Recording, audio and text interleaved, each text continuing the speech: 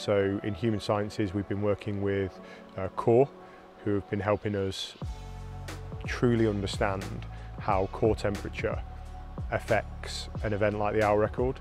Um, we know that if core temperature goes up by one degree, gross efficiency goes down by 1%, and that could have a that is a critical success factor for the hour. We know that at the 40 minute mark um, or around that number, um, there's a crisis point in which people can either maintain their power through to the end or they can't.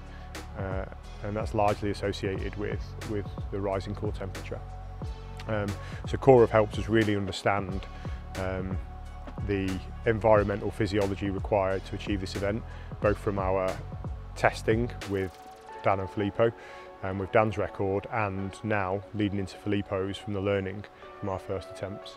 So that's been really interesting for us. Um, and it's given us a really solid base from which to launch environmental physiology sciences into Filippo's programme.